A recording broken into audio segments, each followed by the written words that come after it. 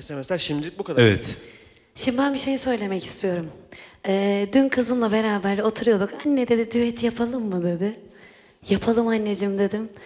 Çektik videoyu şimdi ben bugün iki gündür onu kıskanmaya başladım. Dedim ki artık yeter. Benim videolardan, benim resimlerden çok fazla beğeniliyor. Anne dedi bugün türküyü söyleyelim mi birlikte dedi. Dedim ki Sabit Bey izin verirse tabii ki de.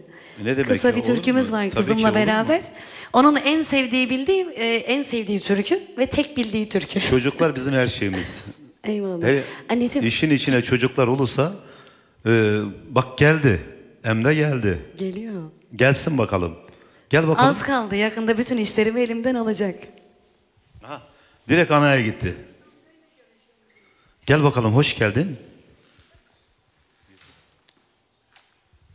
Sen şöyle bir tanıyalım ya. Sen herhalde bir hareketli bir kıza benziyor. İsmim Sıla, soy ismim Kahveci. 7 yaşındayım, 1'e gidiyorum. Alkış yok mu ya? Vallahi güzel bir alkış. Hemen kendini kısa künyeyi yaptı vallahi. Benim gözümün nuru. Birinci sınıfa gidiyor.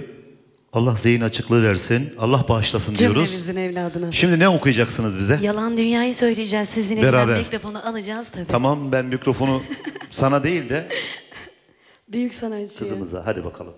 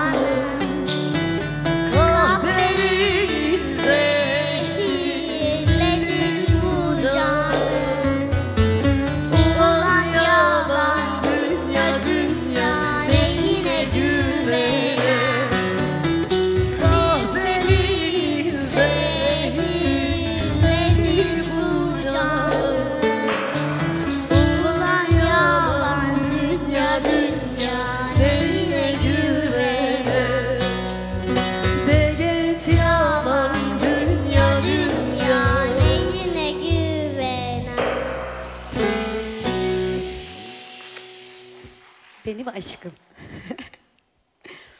Bazen böyle uzağa gittiğim zaman Aa ben programa- gidiyorum. Analı kızlı programı yapın. Hadi bay valla.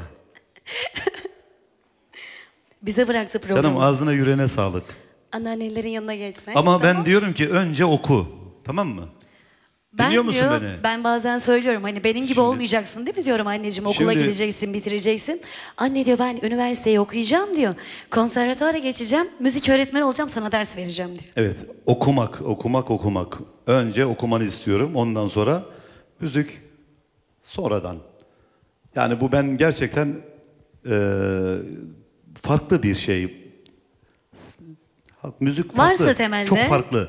Niye temelde biliyor musun? varsa Eğer temelde gidiyor. içeride bir şey varsa Aynen öyle. zaten o kendiliğinden geliyor. Yoksa ben sanatçı olacağım diye bir olay yok.